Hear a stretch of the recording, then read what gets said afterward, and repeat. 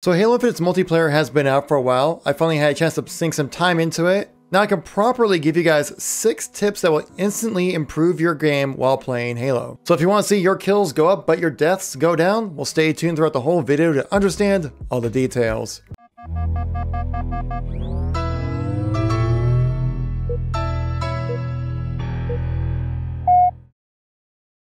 How's it going everybody? Kevin here bringing you a tips and tricks video when it comes to Halo Infinite. In this video we're going to cover proper settings, how to utilize the movement within Halo Infinite, how to aim in the game as well because it's very unique, understanding the weapon sandbox, map knowledge, and just improving your general game sense. So if you guys like these tips and trick kind of videos, make sure you tap that like button as it really helps out the video and channel get a better place within that YouTube algorithm. If you want to stay up to date with everything going on with Halo as it ramp up to the release of Halo Infinite, well make sure you tap subscribe. So let's get right into the content here. So first tip, number one, is setting yourself up with proper settings. This will lay a good foundation for where you can start to improve on your game when it comes to Halo Infinite. I did recently release a video talking about your best settings for your controller, mouse and keyboard, and video and audio settings as well.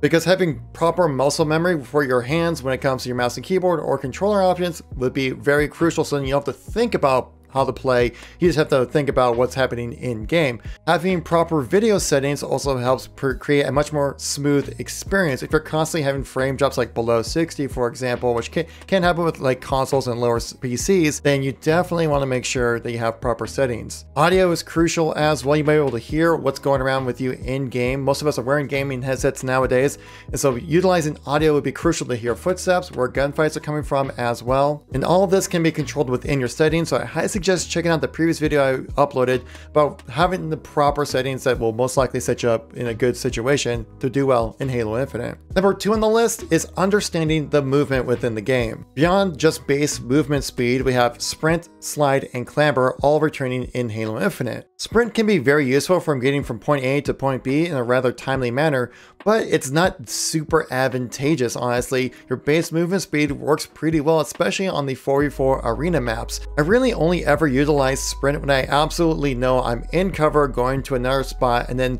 once I'm going out of cover to stop sprinting so my aim is properly placed ready for engagements. Sliding is a great mechanic to try to get a little advantageous movement on some players as well. A really nice technique is what I like to call the super slide, where if you're sprinting, jump, hold crouch, land on a downward sloped surface, holding crouch, and then as you start sliding, you'll speed up quite a lot. Jump out of that slide, your momentum will carry you forward, which can actually make you move through the map a lot faster. This is great for opening rounds and just general gameplay as well. I am sliding all the time down slopes because one, it's really fun, and two, it's very advantageous. Clamber is back in Halo Infinite, but it doesn't necessarily replace crouch jumping, which is key in Halo as well. My main rule when it comes to crouch jump or clamber is crouch jump as much as possible, but clamber when you need to. As utilizing a crouch jump won't make you go into an animation like clamber will. That way your gun is up and always ready to shoot, in case you're ever caught off guard when making a jump, but sometimes you just have to clamber, and it's also very advantageous to utilize as well. On the topic of movement, a really important thing, one of the most important things you can do in your movement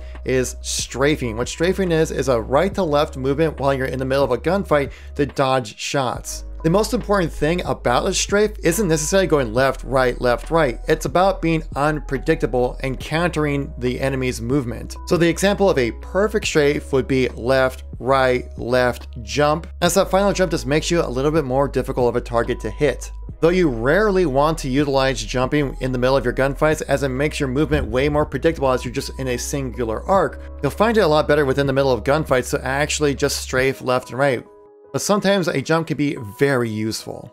Another maneuver you can utilize is an evasive maneuver called Strong Side. It's named Strong Side because it's developed from a former Halo Pro back in Halo 3. What he would used to do is in the middle of a gunfight, if you find yourself in a situation that's not going to be in your favor and you're trying to evade, turn your back to the enemy and look down your feet while going into cover. What this does, it lowers your head from the back so it makes that headshot much more difficult to hit. I take advantage of the strong side maneuver all the time while I'm playing, and it helps me get out of a lot of sticky situations. Now our third tip, which I'm sure a lot of people have been wanting to know is aiming. How do I aim better in Halo Infinite? It's a shooter, how do I shoot better? One important thing is to keep your reticle at chest height at all times. Oftentimes I see players running around with the reticles looking down at the feet, looking down at the ground, maybe just not looking in very predictable locations. Keeping a reticle around chest height of a Spartan does a great job of having preparing yourself to get into a gunfight. Essentially, you always have to be ready because these 4v4 maps are rather small, so the action is always tight. An important thing to know about Halo Infinite specifically is with the precision weapons that the weapons are hit scan.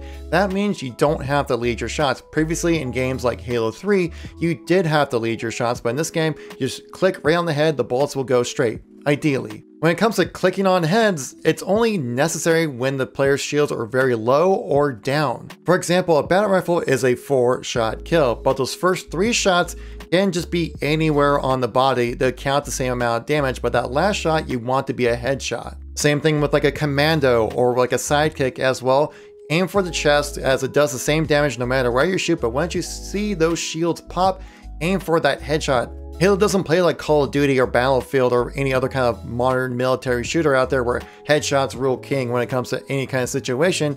Headshots are only necessary when you need to do them. I suggest jumping into weapon drills in the academy to understand the intricacies of each weapon and understanding how much damage you need to deal with each weapon before you can get a kill. Number 4 out of 6 on this list of how to get better at Halo Infinite, that's understanding the weapon sandbox. There are three main damage types within Halo Infinite. There is kinetic, plasma, and electric damage, which is new to Halo Infinite. Generally, kinetic weapons are good against health, plasma is great against shields, and electric damage does a great job of area of effect damage and also continuous damage over time. Electric damage also has the ability to stun vehicles, so if you have a dynamo grenade or you have the shock rifle or any kind of electric kind of weapon like a disruptor or something like that, damage the vehicle with electric damage will actually stun them and completely stop that vehicle, which is very advantageous. Also understand that each weapon serves a specific purpose within the sandbox. It's not all about dealing damage and getting kills with every single weapon. So I would suggest again jumping into training mode in the academy or jumping into weapon drills to understand the intricacies of each one of these weapons within the sandbox. Number five is a crucial thing for you guys, and that's understanding the map. Map knowledge is absolutely huge when it comes to getting better at Halo Infinite. So understanding the locations of weapons, equipment, and power-ups when it comes to the spawns within Halo Infinite's maps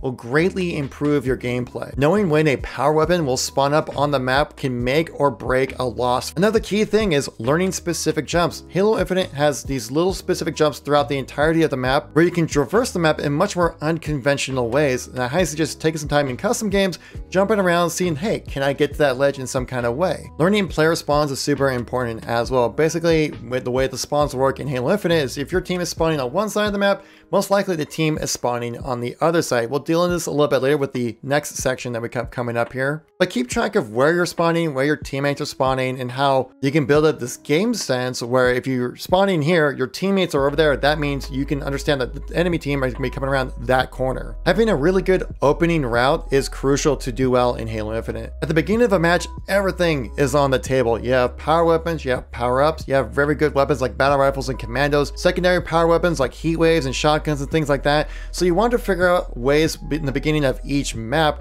to have a very effective way to go to where you need to be. So then you can get to those really good items first and deal out a lot of extra damage. When it comes to map knowledge, really important thing is to learn the callouts. Eventually when you want to upgrade yourself to getting into ranked modes, which will have tips and tricks videos about how to improve your ranks within Halo Infinite. This will help provide a common language for all players to understand. So you say, hey, he's under pillars or big door on a specific map, you'll know what people are talking about.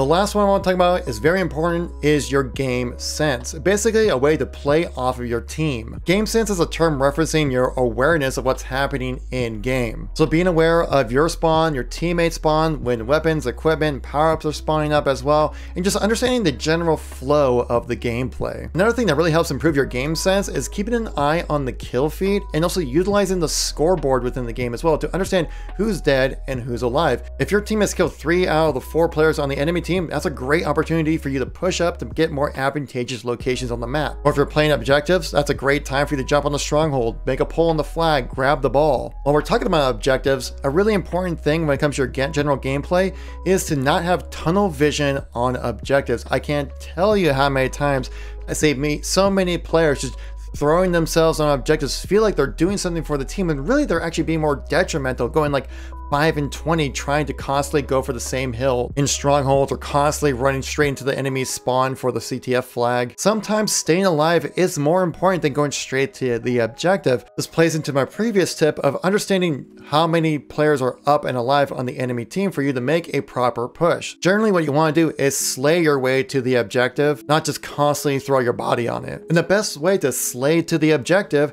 is by staying near your team, but not too close. Essentially you want to be close enough to where you can help out your teammates. Say if your teammate gets into a gunfight, they lost, then there was a guy who they leave a guy one shot or something like that. You can quickly go around, help them out, clean up that kill. But you never want to be too close where you're both peeking the same corner, looking at walking out the same door, basically where you can get killed by the same grenade. This also plays into you not overextending. There's generally like an ebb and flow when it comes to the 50 yard line of how far up you can push. You don't want to push so far where you're completely surrounded by enemy teammates, but you also don't want to stay so far back where you're just hiding back in the spawn the whole time. You want to be up front with your team to press the issue onto the enemy team. And once you get those kills to take the enemy team down, that's when you can push up and get into more advantageous locations. All of this plays into your game sense. So if you're new to the channel or missed any content from me recently, check out this playlist right here. I got a link to all my Halo Infinite news and informational videos we've been uploading daily about. Thank you so much for watching. I greatly appreciate it. I'll catch you on the next one.